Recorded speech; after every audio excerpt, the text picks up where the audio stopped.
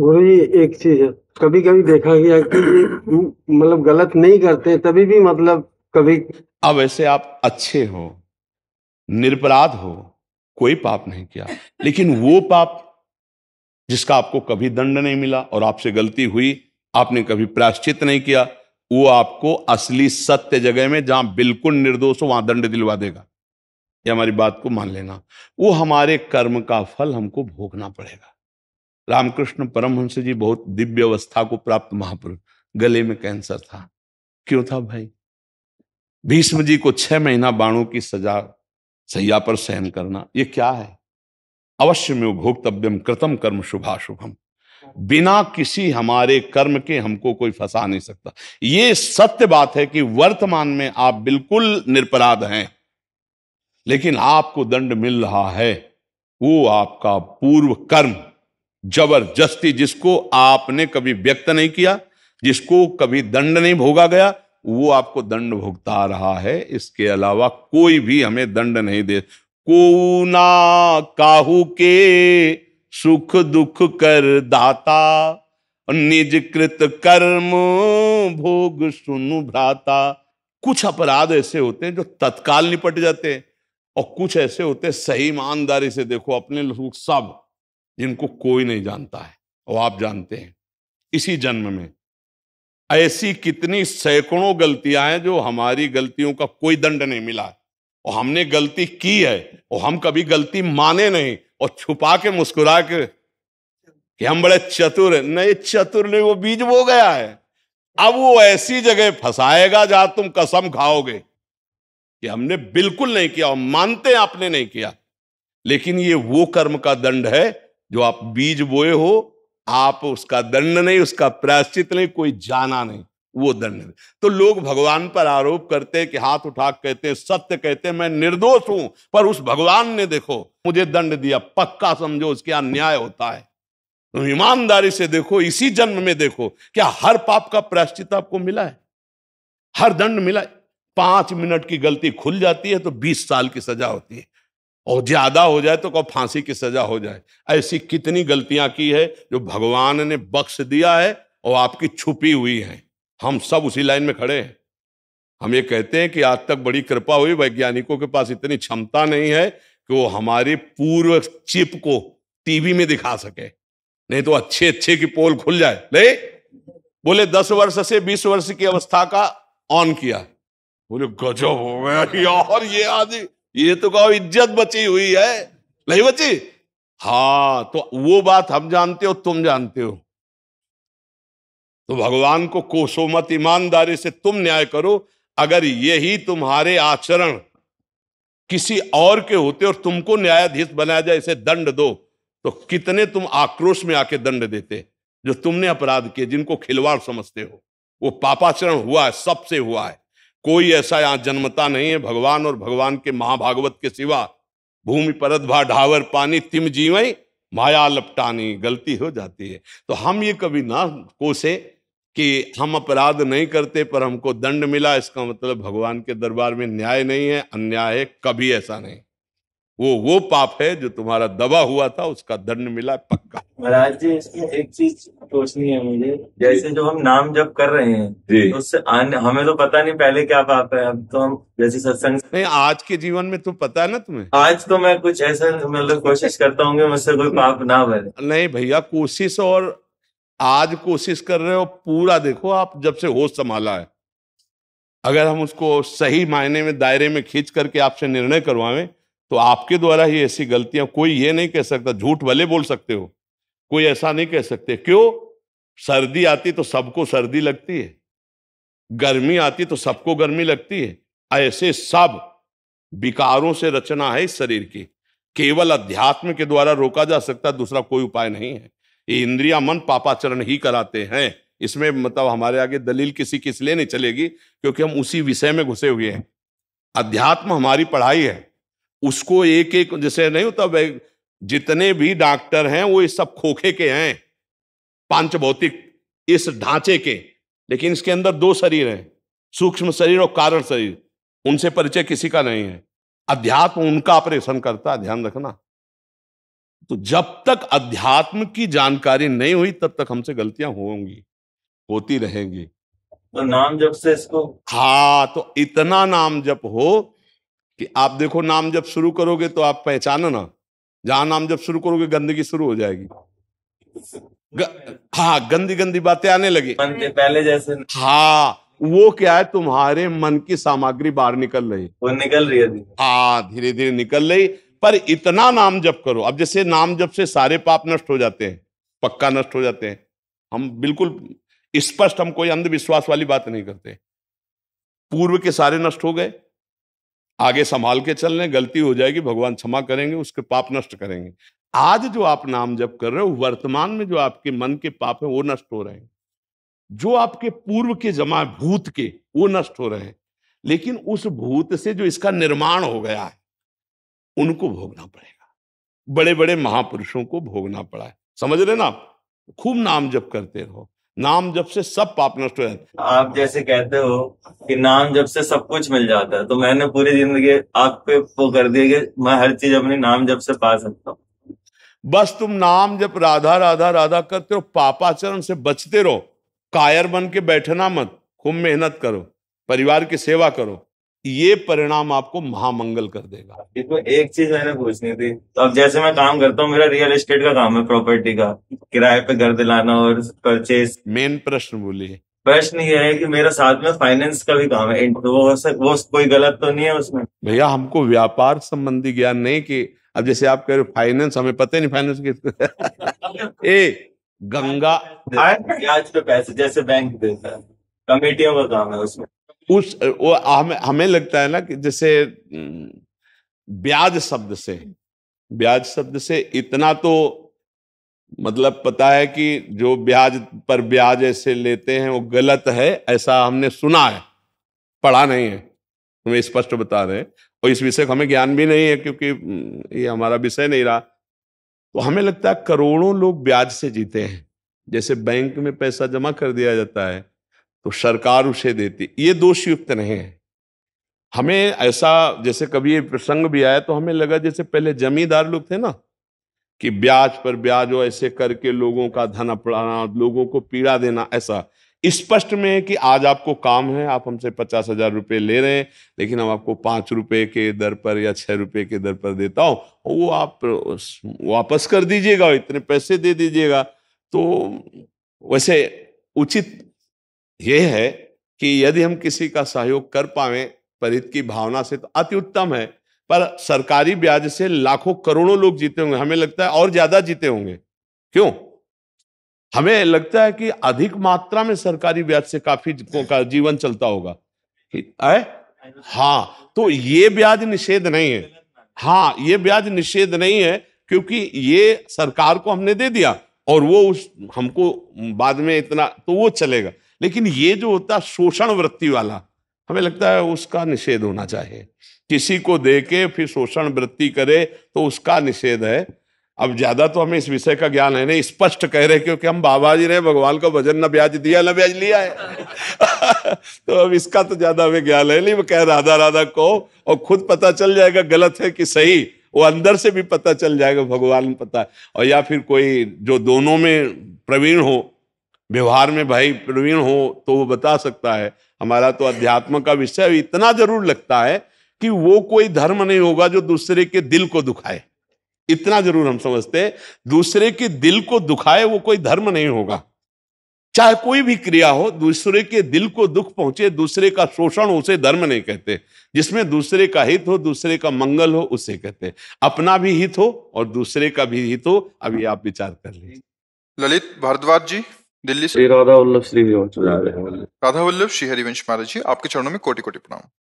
गुरुदेव भगवान आपने मेरे जीवन को पूर्णता बदल दिया जब से आपके अमृतमयी वचन सुने जीवन में नई ऊर्जा महसूस होती है। गुरुदेव भगवान मेरा प्रश्न यह है कि मैंने कई साल पहले देखा देखी गुरु मंत्र ले लिया था लेकिन अज्ञानतावश कभी उस मंत्र का जाप नहीं किया। लेकिन जब आपके सत्संग सुना और नाम की महिमा जान पाया आसक्ति अब केवल राधा नाम में है और आप में हो गई है। पहले वाले मंत्र ना लेकर कहीं कोई अपराध तो नहीं कर अब आप उसको ऐसे भाव में ले लीजिए कि जो उस रूप में गुरु तत्व उस ढांचे में प्रकाशित था समझ रहे ढांचे कभी गुरु नहीं होते।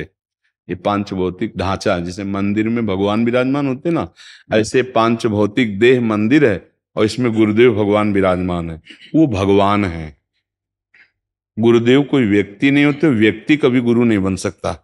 गुरु पर ब्रह्म परमात्म तत्व है और वो सर्वत्र है।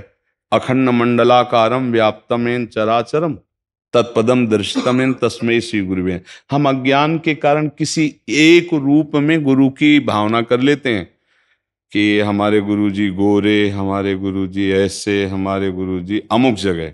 लेकिन सच्चा शिष्य वही है जो हर जगह अपने गुरु तत्व को देखता है। अखंड मंडलाकारम व्याप्तमेन चराचरम तत्पदम दर्शितमेन दर्शितमेन तस्मय श्री गुरुवे नमा। तो वो भाव करो कि जो गुरु जी ने हमें मंत्र दिया, हम भले नहीं जपा, लेकिन उसका फल मिल गया। कि इस रूप में मुझे गाइड करने वाले परमार्थ के गुरुदेव मिले और राधा नाम रूपी अमृत फल मिला। और उसको चखो।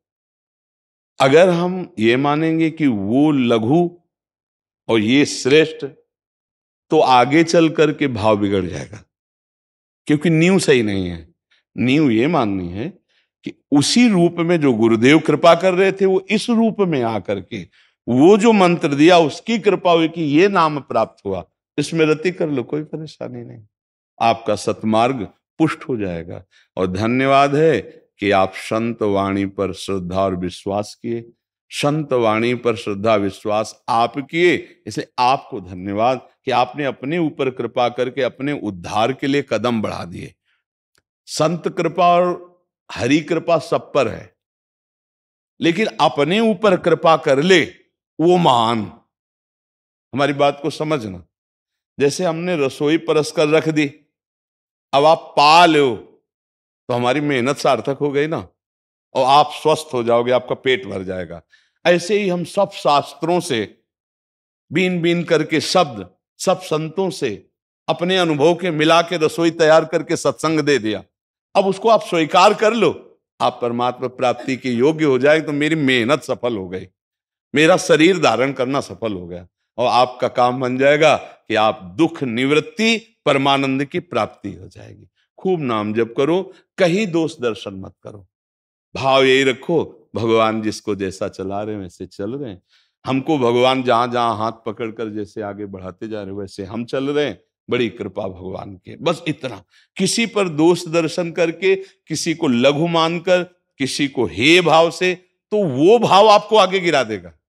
ये बहुत सूक्ष्म विषय, परमार्थ का है, अध्यात्म का। वो भाव आपके साथ ही चल रहा है। और कहीं ऐसी जगह जहाँ आपको उन्नति प्राप्त करनी हो, वहीं वो आपको गिरा देगा। इसलिए विश्व में कहीं भी लघु भाव नहीं होना चाहिए। हे भाव नहीं होना चाहिए। और सच्ची मानिए, आप जैसे फ़िल्म देखते हैं तो आप उससे उदाहरण लीजिए। अगर आप अभिनय करने वाले को पहचानते हैं तो कभी वो बहुत अच्छा पॉजिटिव अनुभव करता है उसके रोल से, और कभी निगेटिव। बहुत दुष्ट रोल वो कर रहा है। लेकिन आपके मन में क्या होता है? ये जो अभिनय कर रहा है, ये बुरा आदमी नहीं है। ये अभिनय कर रहा है केवल। ऐसा होता है नहीं। ऐसे ही आप सच्ची मान लो, इस पूरे संसार के रंगमंच पर केवल श्री कृष्ण है। मत्ता परतरम नान्यत किंचिदस्ति धनंजय, किंचन मात्र मेरे सिवा कुछ नहीं। अब वो स्वांग कर रहा है, वाराह रूप लेके, सुकर का रूप लेके, मत्स्य रूप लेकर, कूर्म रूप, नर रूप लेकर के, अब उसी में कहीं तमोगुणी, कहीं रजोगुणी, कहीं सतोगुणी, ये लीलाएँ चल रही अब आप नहीं जान रहे हो तो आप कह रहे हो, ये बहुत बुरा आदमी है। नहीं, बुरा नहीं, बुरा स्वांग है उसका। चूँकि इस समय वो तमोगुण का रोल कर रहा है, इस समय रजोगुण का स्वांग रच रहा है, इस समय सतोगुण का रच रहा है। हमारी बात समझ में आ रही? और एक है त्रिगुणातीत लीला, जो माया रहित है, उसी की प्राप्ति के लिए हम भजन कर रहे हैं। तो हम किसी की निंदा करेंगे, मानो अपने श्री कृष्ण की निंदा कर रहे, अपने गुरु की निंदा कर रहे, अपने हरि की निंदा कर रहे। नहीं, वो बुरा है नहीं, वो बुरा नहीं है, बुरा स्वांग कर रहा है। ये बात समझ लो। अंदर तत्व वही है। जैसे कई बार हमने सरल भाषा में बताया कि हीटर में गर्मी, एसी में ठंडी, फ्रिज में बर्फ़ जैसी ठंडी एकदम। बिजली एक ही है ना? यंत्र के प्रभाव से उसका परिणाम अलग अलग दिखाई दे रहा है। लेकिन पावर एक ही है। बस हम पावर को देख लें तो दोष दर्शन खत्म हो जाए। सब में एक भगवान का पावर है। अब उस पावर का यंत्र के कारण प्रयोग अलग अलग हो रहा है। अब वो तमोगुणी है तो तमोगुणी आचरण करेगा, हिंसा, क्रोध, बवाल रचेगा। रजोगुणी है तो भोग, ऐश्वर्य, अभिमान, और सतोगुणी है तो दया, श्रद्धा, भक्ति दिखाए, और त्रिगुणातीत है तो भगवत स्वरूप है। ए भाई, हम दूसरों पर दोष दर्शन ना करें। हम सहनशील बने नाम जप करें सब में भगवत भाव धीरे धीरे ले आए तो जीवन मुक्त हो जाएँगे। ना हम स्त्री है, ना पुरुष है, ना बुरे है, ना भले है, ये नाटक चल रहा है। ये पहले रूप नहीं था, ये अभी कुछ दिन बाद नहीं रहेगा। ये बीच में भास रहा है। मैं पहले भी था, मैं अब भी हूँ और मैं बाद में भी रहूँगा। मैं, समझ रहे हो ना? मैं में जो जोड़ा गया, वो पहले भी नहीं था, अब भी नहीं है। और आगे भी नहीं है। अब भी नहीं कैसे? जैसे हम यमुना जी के जल को देखा बोला ये वही जल है। तो सही पूछो तो जिस पे पहली दृष्टि पड़ी, वो कितने हाथ दूर निकल गया जल? समझ रहे ना? ऐसा प्रवाह चल रहा काल का। अज्ञानी जीव समझ नहीं पा रहा। इसलिए बहुत कृपा है उनके ऊपर। जो शराब नहीं पीते, मांस नहीं खाते, पराई माताओं बहनों से बेविचार नहीं करते, नाम जप करते हैं धर्म पूर्वक धन कमाते हैं, अपने परिवार की सेवा करते हैं। भगवत प्राप्ति के लिए पर्याप्त है इतना समझ लो। ये जो हम बात कहे अगर ऐसे चल रहे हो तो तुम्हें किसी से आशीर्वाद मांगने की ज़रूरत नहीं। भरपूर आप पर भगवत कृपा है, आप अपना कल्याण कर लेंगे और आप दूसरों को भी सुख देने वाले बन जाएँगे। और जो ये गंदे आचरण करते हैं, उनका तो पशुवत जीवन है। मनमानी कर लो भाई, आगे जब विधान आएगा, फ़सल बोए हो ना तो जब फ़सल काटोगे, तब फिर पता चलेगा, अभी तो कोई बात नहीं है। अभी फ़सल बो रहे हो इसलिए आपको पता नहीं चल रहा, जब काटना पड़ेगा तब पता चलेगा। इसलिए बहुत सावधानी से आपका जीवन बहुत कीमती है, एक एक श्वास आपकी बहुत कीमती है। आप राधा राधा बोलिए, अच्छे आचरण कीजिए, दूसरों को सुख पहुंचाइए और धर्म पूर्वक धन कमाइए, भले नमक रोटी खाने को मिले, चैन से जिए। अगर आप दूसरों को दुख देकर, हिंसा करके बेविचार करके ऐसे धन एकत्रित करोगे, वो अशांति पैदा करेगा। इस लोक में भी आपको अशांति रहेगी और बाद में परिणाम में आपको दुर्गति भोगनी पड़ेगी। देखो, कानून के खिलाफ में अगर फंस गए तो आजीवन कारावास, फांसी की सजा सब होती है ना। ऐसे ही ये तो एक देश का संविधान है। पूरे अनंत ब्रह्मांडों का एक संविधान है, जिसे भागवतिक संविधान कहते हैं। और उसमें दंड मिलता है नरक में। ऐसा ना समझो कि कोई गप है। जैसे कह दे कि जब चोरी करोगे, पकड़ोगे, जाओगे तो बहुत पिटाई होगी और सजा होगी, बोले गप है। तो जब फंस जाते तब तो हमें एक बार गंगा किनारे एक मिले थे हमें जो, जो मतलब ऐसे आचरण करते थे वो छुपे छुपे भाग रहे। तब तो उन्होंने हम कहा तो आपको कष्ट भी हुआ हो तब वो हाथ दिखा रहे थे नाखून सब उखड़े हुए उनके थे। उनका ऐसी दुर्दशा होती है जब पुलिस के चक्कर में फंस जाए हर रोम रोम कहता कभी गलती ले करेंगे कभी पाप ले करेंगे। तो यहाँ तो कम से कम थोड़ी दया तो है हृदय है। नरक में हृदयहीन है दंड देने वाले। ये यमदूतों के पास हृदय ही नहीं है। हृदयहीन। इसलिए पापाचरण मत करो। गंदे आचरण से कभी किसी को सुख नहीं मिला। खूब नाम जप करो। आप जैसे जैसे नाम जप करेंगे, गंदे आचरण छोड़ेंगे, वैसे वैसे सब संतों की कृपा आपके ऊपर अपने आप आ जाएगी। ये जामवंत जी कह रहे हैं, भगवान श्री राम जी से। जामवंत कहा सुनु रघुराया, जा पर नाथ करहु तुम दाया। ताहि सदा शुभ कुशल निरंतर, सुर नर मुनि प्रसन्नता ऊपर। सोई विजयी विनयी गुण सागर, तासु सुजस त्रैलोक उजागर। जिस पर भगवान की दया है, उस पर सब ऋषियों की दया है क्या दया? भगवान की दया का लक्षण ये कि हम गंदे आचरण नहीं करते। हम नाम जप करते हैं हम धर्म पूर्वक अपने कर्तव्य से धन कमाते हैं परिवार की सेवा करते हैं समाज की सेवा ये है भगवत दया पात्र का लक्षण भगवत कृपा पात्र का लक्षण। ऋषि जी मथुरा राधा वल्लभ श्री राधा वल्लभ श्री हरिवंश महाराज जी। महाराज जी क्या सत्संग सुनते समय नाम जप करना चाहिए? और करना चाहिए तो किस प्रकार करना चाहिए? वैसे बच्चा सही माने में जब हम सत्संग सुन रहे हैं तो केवल हमें सत्संग ही सुनना चाहिए। उसी को पकड़ना चाहिए। श्रोता सोई परम सुजान सुनत चित रत करे। सत्संग ऐसे, अब जैसे हम आपसे बात कर रहे हैं, अब आप माला जपोगे तो हमारी बात को सही ढंग से पकड़ नहीं पाओगे। और जब पूरी एकाग्रता से आप चातक की तरह हमारी तरफ़ देख रहे हो, हमारी बात को तो आपको बात पकड़ में तो सत्संग के समय केवल सत्संग सुने। अब दूसरी बात अब जैसे तुम्हारा मन भाग रहा है, सत्संग में नहीं लग रहा है तो उसको फिर हम फंसाते हैं। राधा वल्लभ श्री हरिवंश और सत्संग में सुन सत्संग में अगर एकाग्रता बंधी तो इसे रोक दिया और जब मन फिर चंचल हुआ तो फिर शुरू कर दिया।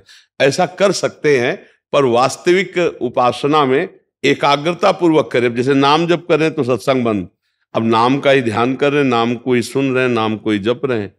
सत्संग सुन रहे हैं तो भगवान का ही तो सुन रहे हैं ना? तो पूरी एकाग्रता उसी में लगाएँ कि वक्ता क्या बोल रहा है, उसका भाव क्या है, क्या इसका अर्थ होता है, हमको जीवन में क्या छोड़ना है, क्या पकड़ना वो मनन चल रहा है, जितनी देर सत्संग में बैठे हैं। नाम जब कर रहे हैं तो नाम में चित्त लगाए, पर दोनों बातें हैं। अगर मन भाग रहा है संसार की तरफ़ तो उस समय हम नाम से घेरते हैं।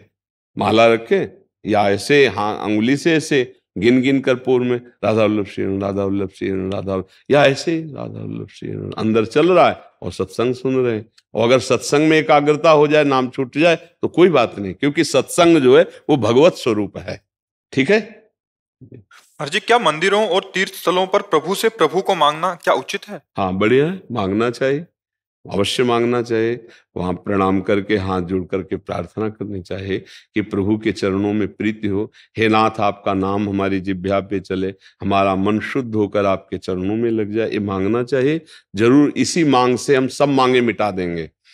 ये अगर मांग जागृत हो गई कि हमें प्रभु चाहिए तो निश्चित माया पर विजय प्राप्त कर लेगा। प्रभु से ये बात ज़रूर मांगनी चाहिए कि हे प्रभु, आप अपना हमें भजन दे दीजिए। आप हमारे मन को अपने चरणों में लगा लीजिए। हे नाथ हमारे अंदर कोई इच्छा न रह जाए। केवल आप ही हमें प्यारे लगे। ये तो मांगना ही चाहिए ये तो प्रार्थना करनी ही चाहिए। जी। प्रवीण चौहान जी राधा राधे राधे गुरुदेव आपके चरणों में कोटि कोटि गुरुदेव सर्वप्रथम तो मैं आपको धन्यवाद कहता हूँ क्योंकि आपने मुझमें भक्ति का संचार किया, प्रसार किया गुरुदेव, इससे पहले मैंने कभी किसी संतों की वाणी नहीं सुनी थी। ना ही कभी उनके प्रति कभी भक्ति भाव प्रकट हुआ था। ना ही इज़्ज़त दी, ना ही कभी दर्शन किए। गुरुदेव, मैं इतना महापापी हूँ कि मैंने कभी भगवान का भी अस्तित्व नहीं माना।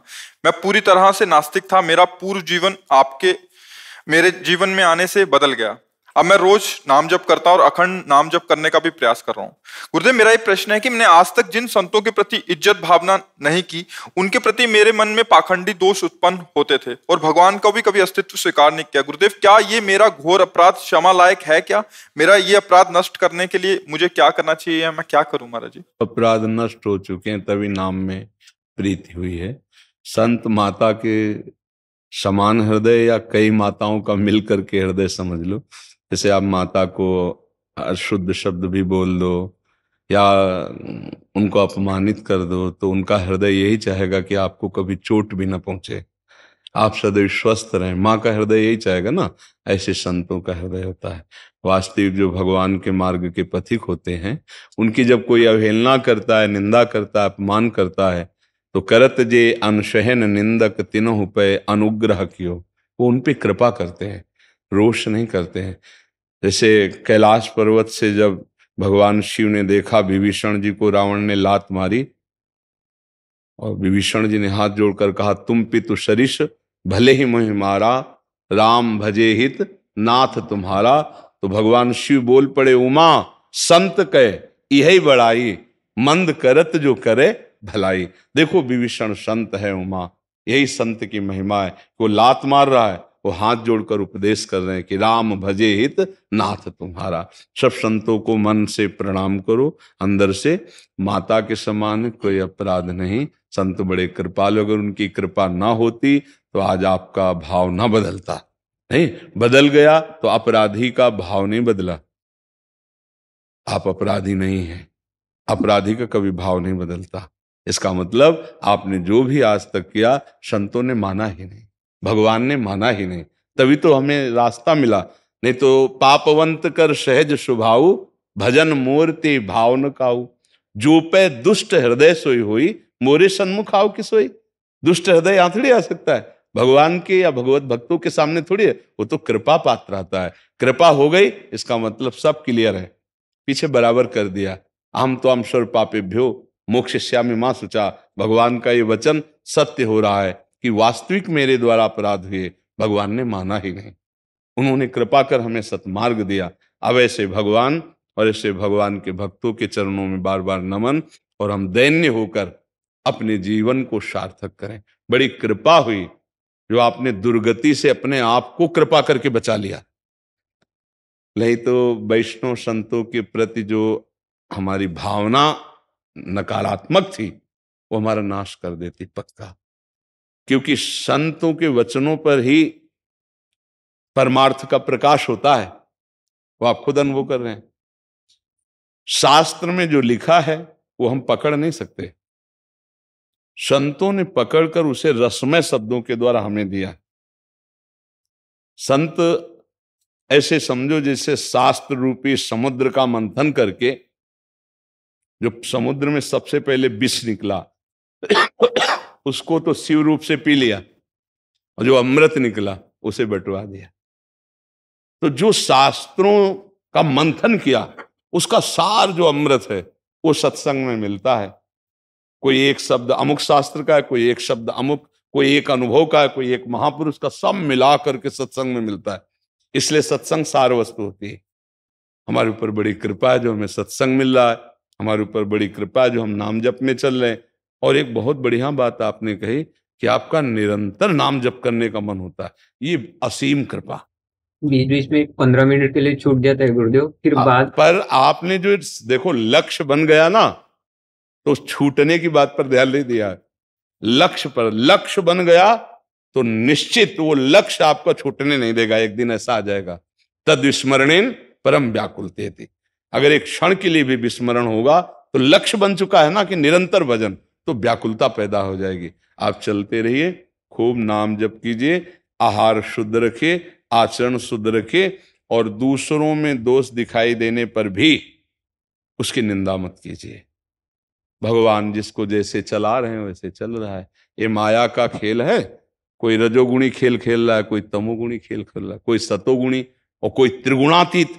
ये भजन सत्यता पे चलना, भगवान का चिंतन, भगवत सेवा परम हित ये सब त्रिगुणातीत है ये भगवत स्वरूप है। तो हमें चाहिए कि हम किसी की निंदा न करें। आज का सत्संग सुना था क्या? प्रारंभ से।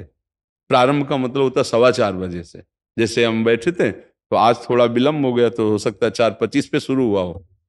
थोड़ा विलम्ब हो गया था हम बाहर गेट पे थे। हाँ तो जब सत्संग कहीं सुनने को जब जैसे संतों को मिले ना तो उसमें विलंब शब्द नहीं होना चाहिए।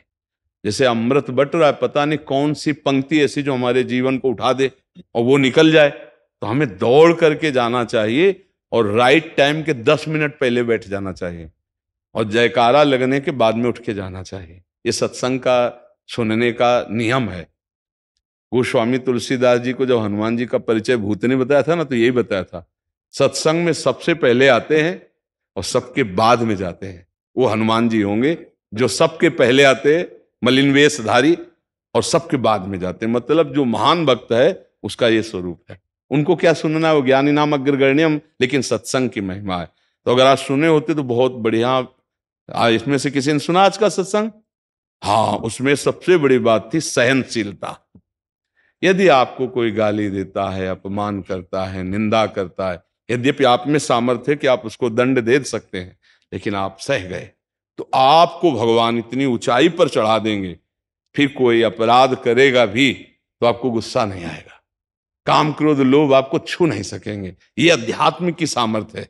ये शारीरिक बल नहीं काम करता इसमें अध्यात्म बल काम करता है। तो अब जैसे कोई गलत है, हमें दिखाई दे रहा सौ परसेंट गलत है, पर हमें यह मानना है कि ये माया के द्वारा प्रेरित है। हम उसकी निंदा करेंगे तो गंदगी अपने में लेंगे। ना भैया, राधा राधा राधा। हाँ अगर वो मित्र है, हमसे पूछता है, हमारा दोस्त है तो हम उससे कह सकते हैं भाई देखो, तुम गलत चल रहे हो, हमने संतों से सुना है, शास्त्र में सुना है ऐसे आचरण करना गलत होता है। फिर भी नहीं मानता तो हमें ना द्वेष करना, ना मित्रता करनी, हमें दूरी हट जाना चाहिए। जाके संग कुमति मति उपजय, करत भजन में भंग, तजो रिमन, हरि विमुखन को संग पर हम उसकी निंदा नहीं करेंगे। अगर निंदा करेंगे तो उसके जो पाप हैं वो हमारे ऊपर आ जाएँगे, हमारी बुद्धि मलिन हो जाएगी और वैसे ही आचरण वाले हम बन जाएँगे। खूब नाम जप कीजिए, जीवन का लक्ष्य बना लीजिए कि हमें धन भी कमाना है, चार पुरुषार्थ हैं, धर्म, अर्थ, काम, मोक्ष। हमें धन भी कमाना है क्योंकि परिवार की सेवा करनी है, शरीर को चलाना है, धर्म से धन कमाना है, जीने के लिए। और जीना है लक्ष्य के लिए। लक्ष्य भगवत प्राप्ति, इसलिए हमें निरंतर भजन करना है। बस इतनी बात समझ में आ जाए ना तो सब बात समझ में आ गई। जीने के लिए धन चाहिए धन के लिए धर्म पूर्वक हम कमाई करेंगे। ये बात बहुत कम समझ में आती है। जीने के लिए धन चाहिए सबको पता है। धर्म से युक्त जो अर्थ है वो आपको भगवान की प्राप्ति कराने में सहायक होगा। पाप का पैसा पाप ही सोचवाएगा और पाप ही करवाएगा और दुख ही देगा। अधर्म युक्त कमाई से बचे धर्म युक्त कमाई करे, ये जीने के लिए। लेकिन जीवन का लक्ष्य भगवत प्राप्ति। हम जी रहे हैं श्री भगवान की प्राप्ति के लिए। इसलिए हर समय राधा राधा राधा राधा, कृष्ण कृष्ण, जो नाम प्रिय, जो गुरुदेव ने दिया हो, खूब नाम जप करे। ठीक है बच्चा? और धन्यवाद आपका, क्योंकि आपने बात मानी तो आपका परिवर्तन हुआ। हमारी बात से परिवर्तन नहीं हुआ। परिवर्तन हुआ आपकी श्रद्धा से। भगवान ने कृपा करी जो आपके हृदय में संत वाणी की प्रति श्रद्धा कर दी, आपने स्वीकार किया तो धन्यवाद आपको कि आपने स्वीकार किया। जैसे माँ बच्चे को जब दूध पिलाती है ना, अगर वो पी लेता है तो माँ को खुशी होती है और आशीर्वाद देती है। दूध पीने से बच्चे पुष्ट होगा, लेकिन माँ को सुख होता है कि मेरा बच्चा दूध पी लिया, आप स्वस्थ होकर खेले जाके। वैसे पीठ में हाथ दे, बहुत अच्छे राजा बाबू, तुमने दूध पी लिया ना, अब खेलो। ऐसे ही राजा बाबू, तुमने हमारी बात मान ली तुम धर्म से चलने लगे, भगवान के मार्ग में चलने लगे, इसलिए आप सुखी रहोगे, आप धर्म से चलोगे तो ये हमारे जीवन की सार्थकता है। आपने हमारे जीवन को सार्थक होने में, हमारी वाणी को सार्थक होने में सहयोग दिया तो आपका जीवन सार्थक हुआ। ये बात से हमारा जीवन सार्थक हो गया।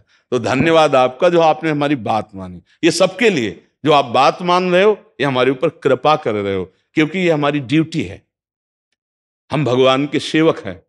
और ये भगवान की सृष्टि है। अगर इस सृष्टि में सुधार हो जाए थोड़ा भी तो अपने स्वामी की सेवा कर ली ना तो आप हमारे स्वामी की सेवा में सहयोगी बन गए आप बात मान गए आपका जीवन सुखमय हो जाए यही हमारा लक्ष्य है। जी। मनीष जी शोभा जी वृंदावन से। राधे राधे। गुरुदेव आपके चरणों में कोटि कोटि नमन। गुरुदेव भगवान, हम दोनों पति पत्नी को श्री जी की अष्टयाम सेवा करना, उनको पद सुनाना, दुलार करना बहुत प्रिय है, जिसके चलते हम अपने संबंधी जनों और आसपास के लोगों से ज़्यादा व्यवहार नहीं रखते, जिससे उन लोगों को हमारा ये बर्ताव अच्छा नहीं लगता। तो गुरुदेव, ऐसा करना गृहस्थी में दोष तो नहीं है? अब आप जो अष्टयाम सेवा और श्री जी से दुलार करना अच्छा समझ रहे हैं तो फिर वो रुचेगा भी नहीं। क्योंकि जब इधर प्रियता बढ़ेगी तो उधर प्रियता नहीं रह पाएगी। हाँ भगवत स्वरूप मानकर कभी कोई भी आए तो सबका सम्मान है, प्रिय वचन है। सब जीवन सुप्रीति लेकिन शब्द आगे देखिए, रीति निवाहत आपनी, श्रवण कथन प्रतीत यह जो कृपा हरिवंश हम सबसे प्यार से मिलेंगे, लेकिन अपनी रीति से। अगर आप प्रिया प्रीतम की चर्चा से बिलक प्रपंच की वार्ता करेंगे तो अगली बार से दरवाज़ा खुलने में समस्या हो जाएगी। रीत निबाहत आपली हमें आपसे कुछ चाहिए नहीं, आपको हम भगवान के समान आदर करेंगे। लेकिन भगवत वार्ता करो। प्रिय वार किसी की निंदा, स्तुति गाँव घर के प्रपंच की, राज, कथा, लोक कथा, काम कथा, प्रपंच कथा, ये सब नहीं। तो अपने आप उन लोगों को जो संसार प्रिय है, उनको आप अप्रिय लगने लगेंगे। वो आपसे अपना संबंध हटा लेंगे। और बड़ी कृपा होगी जो ऐसे लोग संबंध हटा लें। वृंदावन ऐसे रहे मनो चिन्हारो नाय वृंदावन में जब प्रिया प्रीतम की सेवा में भाव जाता है तो फिर ऐसे रहे मनो चिन्हारो ना क्यों? अब वो प्रपंच करने आए प्रपंच की बातें करेंगे मौसी ऐसे थे, बुआ तुम ऐसे थे, अब वहाँ हमें श्री जी को भोग लगाना है। अब वहाँ हमें श्री जी को इसलाल कराला हमारी चित्तवृत्ति वहाँ तड़प रही। कि अब इस समय तुम्हें श्री जी को अमुक सेवा करनी हो वो मौसी बुआ फूफा और तुम्हारे और सुनो ऐसा कर, ऐसा वैसा प्रपंच की बातें नहीं होती। घंटों कान में चिपका घूम रहे पता नहीं कौन सी वार्ताएँ हो रही अपने तो ठीक है जैसे आप चल रहे हो बहुत ठीक है कोई अपराध नहीं पर सबका आदर करना है कोई भी आ जाए आदर करना है और अपनी बात बता देनी कि थोड़ी सी अगर कृपा हो तो हम श्री जी की सेवा में जाए। हमारे पास समय थोड़ा कम है। वो समझ जाएँगे कि ये हमारे लायक नहीं रहे। जो किसी के लायक नहीं रहता और जिसके लायक कोई नहीं रहता, वो प्रभु के लायक होता है। ये बात समझ लेना अरे, कोई मित्र नहीं, ये तो एक दिन हम सत्संग में बोले थे कल ही परसु परसुआ परशुराम जी।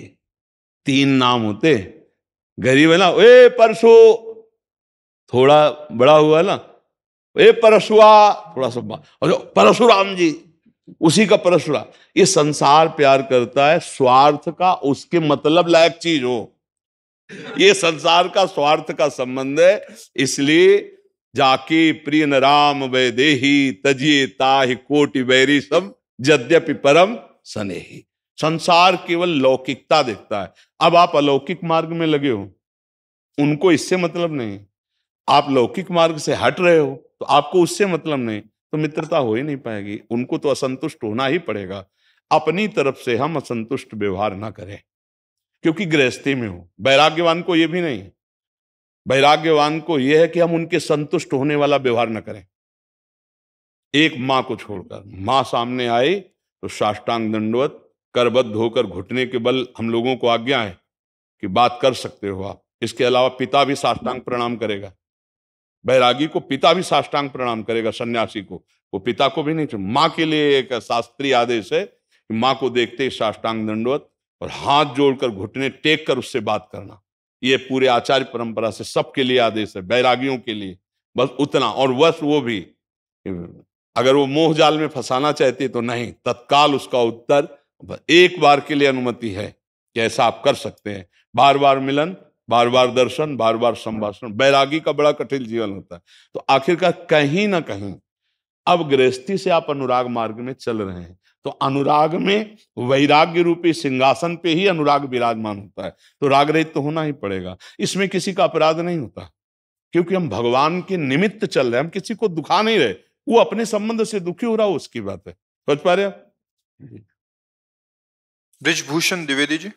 राधा वल्लभ हरवंश राधा वल्लभ शेरवंश महाराज जी, आपके चरणों में कोटि कोटि प्रणाम। भगवान, हमारे ग्रस्त जीवन में विगत लगभग चौतीस वर्षों से घर में श्री राधा कृष्ण जी, गोपाल जी, देवी जी, लक्ष्मी गणेश जी की मूर्ति विग्रह के अलावा श्री शालिग्राम जी एवं शिवलिंग की पूजा नित्य प्रतिदिन सभी विग्रहों के स्नान, वस्त्र, धूप और भोग द्वारा हमारी पत्नी करती चली आ रही है। महाराज जी, हम दोनों पति पत्नी विगत आठ माह से श्री जी की कृपा से धाम में निवास कर रहे हैं। आपके द्वारा बताई गई वृंदावन की रहने की पालना का प्राणपन से प्रयास भी कर रहे हैं। परम पूज्य गुरुदेव, आपके श्री चरणों की कृपा से दास की प्रेम, भक्ति की उपासना की ओर प्रवृत्ति बढ़ रही है। यूट्यूब पर आपके ही श्रीमुख से सुना है कि प्रेम मार्ग में लौकिक और वैदिक समस्त सिद्धांतों को नमस्कार कर लेना चाहिए। अतः जब हमारे पैतृक गाँव में बड़े परिवार में कोई जातक या मृतक सूतक लग जाता है तब मैं तो उनको न, मानकर यथावत पूजा सेवा पाठ संलग्न हो जाता हूँ परंतु मेरी पत्नी मेरे विरोध करके सभी विग्रहों को स्नान वस्त्र धूप भोग आदि बंद कर देती अब मैं उनको कैसे समझाऊं कि प्रेम इसमें एक बात ये समझना है कि जब हम रजिस्टर्ड हो जाते हैं तो फिर किसी की नहीं चलती है ना। जैसे हम ऐसे खाकी पहन करके चौराहे पे किसी को नक्शा दिखाना चाहे तो नहीं बने। जब सरकारी बिल्ला लगा है और पास है, उस बिल्ले की दम से आपसे बलवान आदमी से भी अगर बात करेगा तो थोड़ा अदब बिल्ले का करेगा, नहीं करेगा। तो जब आप रस मार्ग में रजिस्टर्ड हो जाएँगे तो फिर आपकी छाती में अपने आप हिम्मत ऐसी आ जाएगी कि किसी की बात नहीं मानेंगे। अभी रजिस्टर्ड तो हुए नहीं, अंदर से देखिए। जब सरकारी छाप लग जाएगी ना, हमारे माँ श्यामाजू को राज फिर कुछ नहीं सुनाई देगा। ला। बढ़्यो आनंद मोद सबके महाप्रेम सुरंग रंगी, और न कछु सुहाय तिनको जुगल सेवा सुख पगी। निश देऊ से जानत नाही सजनी, एक रस भींजी रहे। गोप गोपिन आदि दुर्लभ ते ही सुख ही दिन प्रति लहे रजिस्टर, एक अपनी लाडली जो अब ना तो विरक्त हुए हो तो परिवार का संबंध है। अच्छा ना रजिस्टर्ड अष्टयाम उपासना है, क्योंकि उपासना जो आप बोल रहे हैं, ये रजिस्टर्ड ही तो उपासना में जो आएँगे तो ऐसी हो ही नहीं सकती। तो इसलिए जो पत्नी कह रही है, वो अपनी जगह से ही कह रही है। आप जो कह रहे हैं, वो सत्संग सुन के भाव में आना चाहते हैं, पर आपकी स्थिति नहीं है। पत्नी जो कर रही है, वो अपने हिसाब से सही कर रही है, क्योंकि वो जहाँ है, वहाँ ऐसा ही पद्धति है। लेकिन आप जहाँ सुन रहे हैं, लेकिन अभी है नहीं वहाँ। इसलिए उसकी चलने दो। और जब आपकी चलने लगेगी, हृदय की तो अर्धांगिनी है, उसका परिवर्तन स्वाभाविक हो जाएगा। अभी वो सही है। ठीक है ना? अभी आप उसका विरोध ना करके अपने भाव को बढ़ाने की चेष्टा कीजिए, क्योंकि धर्म शास्त्र के अनुसार वो जहाँ है, वो ठीक है। वो अपना निर्णय ठीक कर रहे हैं। हम जहाँ हैं, हम प्रेम शास्त्र के अनुसार अपनी जगह ठीक है। आप ना हमारे प्रेम शास्त्र में हो, ना उस धर्म का त्याग किया है तो फिर अभी ठीक नहीं है। फिर वो जहाँ चल रहे वही चलना चाहिए। तस्मा शास्त्रम प्रमाणम ते कार्या कार्य व्यवस्थित। हो हम अपने प्रेम शास्त्र के अनुसार ही चल रहे हैं। जैसे जहाँ वेद सिद्धांत प्रमाण है वैदिक साधनों में, वहाँ यहाँ वेद रसिकन की वाणी, श्री वृंदावन धाम इष्ट श्यामा महारानी। अब हम कोई प्रमाण लेते हैं तो रसिक महापुरुषों की वाणी से लेते हैं। तो अब जो ये सिद्धांत में हम सब जगह कट कर दिया गया, वो रसिकों की वाणी से ग्रह नक्षत्र तिथि, वार, सोवर, सूतक इन सबको झाड़ू लगा के, सोहनी लगा के साइड में आठों पहर केवल श्यामा श्याम की सेवा और दुलार। ज्ञान, धर्म, व्रत, कर्म जीते सब काहों में नहीं मोई प्रतीति। रसिक अनन्य निशान बजायो एक श्याम श्यामा पद प्रीति। श्री हरिवंश चरण निज सेवक, बिचले नहीं छाणी रस रीति। श्री हरिवंश धर्म प्रगट निपट के ताकि उपमा को ना ये हमारी वाणी जी है। तो अब इसमें ये तमाशा दूर से नहीं देखा जाता। प्रेम खेल इसमें कूदा जाता है। अभी कूदे नहीं हो, इसलिए बात कूद जाओगे ना, फिर रंग बदल जाएगा, फिर अपने आप बदल जाएगा। हमें लगता है कि शास्त्रों की संख्या में शिष्य जन होंगे दसियों हज़ार की संख्या में भी हो सकते हैं, और जितने भी होंगे, अभी दो चार महीने से जुड़े, उनकी बात नहीं कहते। नहीं, वो अनन्य परिपाटी में खड़े हो गए होंगे प्रिया प्रीतम गुरुदेव आचार्य, बस। और अपनी रस पद्धति में, क्योंकि सत्संग सुन के ही शिष्य बनते हैं। और शिष्य बनने के बाद गुरु का प्रताप उसके हृदय में जाता है। तो जो यहाँ चल रहा है, वो इतना तो आ ही जाएगा, हमारे माई श्यामा जी को राज। चाहे वो बच्चा ही क्यों ना हो, एक बच्चे बच्चे के हृदय में महारानी जी की ठसक मिलेगी। हम सब सुनाते हैं, गीता, भागवत, रामायण, इतिहास, पुराण। लेकिन जितने हमारे विरक्त हैं, जितने हमारे निज जन हैं, सब रसिक अनन्य होंगे। मिलावट नहीं होगी कि उनकी सेवा में कहीं भी कुछ भी मिलावट हो, नहीं होगी। और ये हम कभी उपदेश नहीं करते। ये यहाँ से जाता है। जहाँ जुड़ेला, वो अंदर चला जाएगा, वही ठसक आ जाएगी, जिससे जुड़े वही ठसक आ जाएगी। पुराना सिस्टम था, एक ब्लूटूथ सिस्टम। नहीं होता? अपने मोबाइल में तुम ब्लूटूथ खोलो, इधर से खोला और सखिला दिया, वही पहुँच गया ला। ये गुरु शिष्य का ब्लूटूथ सिस्टम होता है। अगर शिष्य आत्मभाव से गुरुदेव को पर ब्रह्म मानकर समर्पित हो जाए तो गुरुदेव के हृदय में जो चल रहा है शिष्य के हृदय में पहुँच जाएगा बिना साधना के। इसीलिए तो गुरुदेव को वर्ण किया जाता है कि कृपा सिंधु गुरुदेव की कृपा से हमारी कहाँ सामर्थ्य है कि हम वहाँ पहुँचे, उन्हीं के बल से हम आगे बढ़ते हैं। तो जो सखी कर रही मतलब आपकी जो पत्नी कर रही, वो अपने सिद्धांत से ठीक करे। आप जो कह रहे हो, वो सुन के सिद्धांत धारण करना चाहते हो, पर अभी सिद्धांत में रत नहीं हो। सिद्धांत में रत हो और उसको भी रत धीरे धीरे करो, तब वो परिपाटी लागू हो जाएगी। ठीक है? गुरुदेव भगवान, आपके चरणों में कोटि कोटि नमन। महाराज जी, जब से नाम जप करना शुरू किया है, तब से सुख, दुख एवं जीवन की हर परिस्थिति सामान्य सी लग, शुरू हो गई है। मेरा बचपन से लेकर अभी तक का जीवन दुखों व कष्टों से असफलताओं से निकला है। अब जब से आपका और श्री जी का आश्रय लिया है, तब से सुख व दुख व असफलता तो आती है, परंतु आंतरिक भाव से मेरा मन शांत व सुख व आनंद में रहता है। दुख व अशांति अभी नहीं आ रही महाराज जी। गुरुदेव, भगवान, मेरा भजन का प्रभाव है ये, या मेरे पुण्य खत्म हो रहे हैं, या राधा रानी की दया है, या आपकी कृपा है? महाराज जी, मुझे कुछ समझ नहीं आ रहा। अब जैसा आप कह रहे हैं, उसके अनुसार कह रहे हैं कि अभी कोई टिकाऊ स्थिति थोड़ी बच्चा पर अभी थोड़ी समझ ठीक हो रही है। वो पूर्व का कोई भजन रहा होगा, अभी भजन का प्रभाव जो सत्संग सुन रहे हैं, जो नाम जप कर रहे हैं, वो भी मिल सकता है। पर अभी कोई टिकाऊ स्थिति नहीं है। अच्छा है पर ये अल्प है, अभी भूमा नहीं है, अभी कोई सिद्धावस्था नहीं है, पर बहुत अच्छा है। अगर ऐसा विचार आने लगा है कि सुख दुख में समान भाव रखकर नाम जप कर रहे हैं, हम विचलित नहीं हो रहे हैं तो अच्छा है, पर ब्रह्मचर्य पर ध्यान दीजिए आप। नई अवस्था है। अभी ब्रह्मचर्य तो ठीक है नहीं ना? हाँ तो इसलिए अभी क्या सुख दुख के सवाल भाव आ गया? नहीं? हाँ बच्चा, देखो, कोई बात सुन करके लिख देना और स्थिति में आना बहुत कठिन होता है। क्योंकि जब वो स्थिति आएगी तो ये क्षुद्र गंदी बातें हट जाएँगी ना। अभी गंदी बात है। हाँ उसको हटाओ। अच्छे बच्चे बनो। धन्यवाद है कि आप अध्यात्म मार्ग में चलना चाहते हैं। इस अवस्था में आप अध्यात्म को समझ रहे हैं, पर केवल समझ से काम नहीं चलेगा, उसको प्रयोग में है नहीं? देखो, आप गंदी बात करते हो।